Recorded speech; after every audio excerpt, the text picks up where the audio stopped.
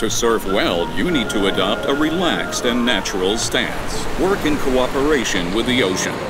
It's how professionals master the waves.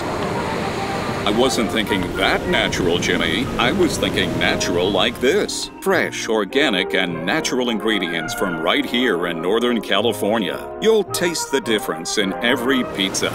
That was a very natural surf section. Attaboy, Jimmy.